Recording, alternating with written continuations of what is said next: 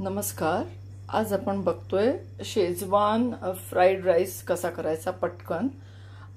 Actually ही recipe दाखवण्यापेक्षा मी हे एक युक्ती दाखवते की आपण लॉकडाऊनचा पिरियड आहे दोन हजार वीस एप्रिल चालू आहे आणि घराच्या बाहेर जाता येत नाही.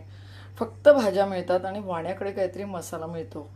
सो हे दहा रुपयाला पाकिट मिळतं आणि काहीतरी भाज्या असल्या तर हा पटकन भात करता येतो. सो ही एक आयडिया देण्यासाठी मी ही रेसिपी बनवते आहे काहीच लागत नाही. मिरची पाहिजे तर घ्या नाही घेतली तरी चालेल. घरात ज्या भाज्या आहेत त्या बारीक चिरून घ्या उभ्या उभ्या. आणि तेलामध्ये फक्त या भाज्या परतायच्या भात टाकायचा आणि तो शेजवान मसाला घालायचा. मीठ पण घालायचं नाही काहीच नाही.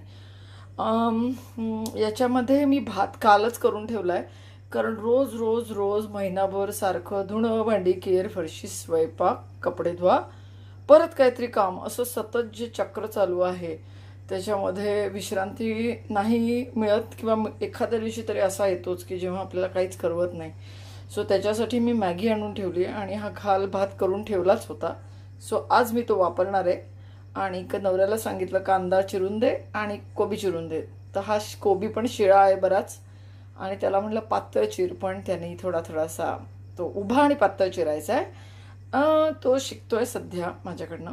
त्यामुळे त्यांनी थोडासा तो जाड शिरला आहे पण अदरवाईज कुठल्याही भाज्या उभ्या गाजर असेल तर ते मोठ्या किशणीवर किसून घेतलं तरी चालेल. आणि मग ते फोडणीत नाही टाकायचं भाताबरोबरच टाकायचं. हा भात मी मायक्रोमध्ये एक पाणी टाकून दोन मिनटं एक एक मिनटं गार गरम करून घेतलं आहे आपल्याला याच्यात काही फोडणी बिडणी करायचीच नाही आहे त्यामुळे थोडंसं तेल टापलं की त्याच्यात मी मिरची उभी आहे ती मध्ये ज्याला एक स्लिट दिली आहे अशी मिरची टाकणार आहे. आणि त्याच्यानंतर कांदा दोन मिनटं परतून त्यात कोबी परतून मटार घालणार आहे. मटार इज फ्रोझन मटार. त्यामुळे तो आधी घालायची गरज नाही.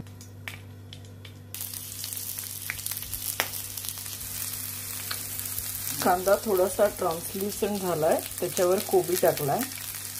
सो मी सगळं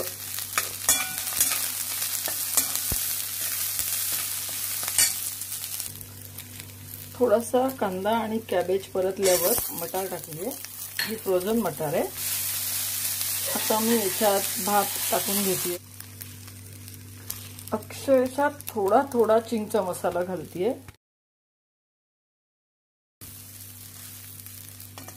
आणि हे परतून घेते. असा दिसतोय आपला फायनल भात. तो मी बोलमध्ये काढून घेतलाय. आणि त्याच्यावर थोडीशी कोथिंबीर पेरली आहे हा भात जनरली ते रेकमेंड करतायत की शिळा घ्या. पण तुम्ही ताजा घेतलात तर मला वाटतं थोडा त्याला चिकपणा असतो. आणि लिटरली मी काही घातलेलं नाही मीठ वगैरे काहीही घातलेलं नाही. आणि हे गरम गरम खा असं ते रेकमेंड करतात.